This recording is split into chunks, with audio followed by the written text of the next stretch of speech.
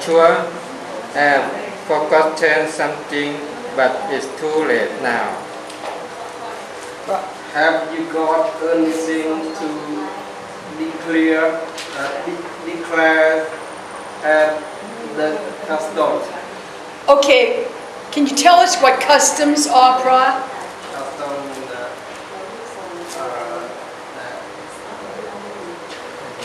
uh,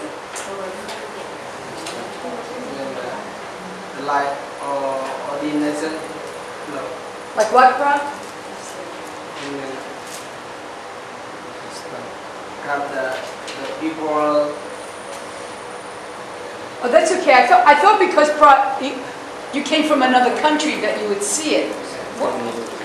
When do you see customs? It's when you go into a new country.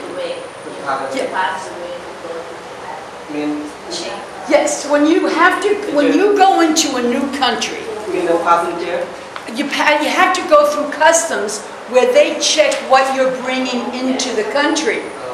yeah So when they say, do you have anything to declare? When I come into Bangkok, there are, there are uh, signs.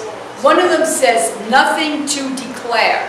And that's the one I go through, because I have nothing to declare. I'm not bringing in a high amount of cash, which you're supposed to declare.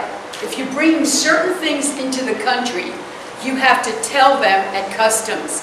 In every country, you have customs.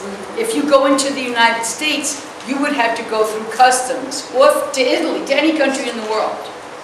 Okay? All right? One, one doesn't have to pay any duty on personal belongings.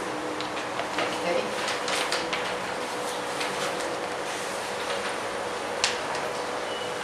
Uh, this one, personal belongings. Okay, so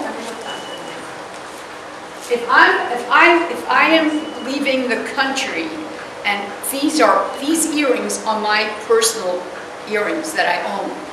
But if I buy an expensive pair of earrings in Thailand, then I have to pay duty on it when I leave or go into my country.